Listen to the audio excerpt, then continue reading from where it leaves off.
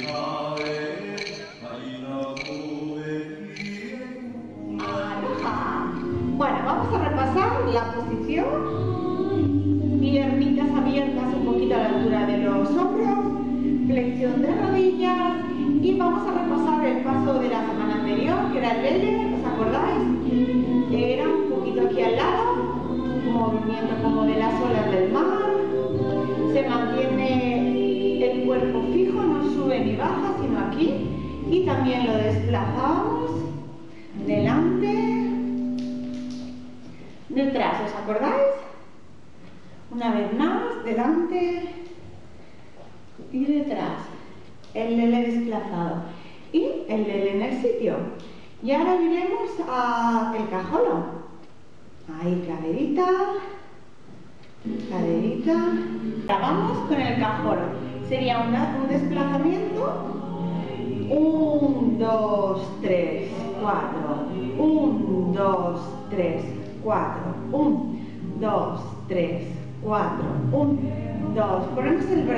brazos los vamos a poner a la altura del pecho, el hombro arriba, el codito y hacia detrás. Y el brazo ni delante ni al lado, en diagonal. Flexionamos y nos vamos al cajolo. 1, 2, 3, 4, 1, 2, 3, 4, 1, 2, 3, 4, 1, 2, 3, cuatro. La carita hacia donde vamos. Ahí, un poquito. O por lo menos la mirada. Ahí,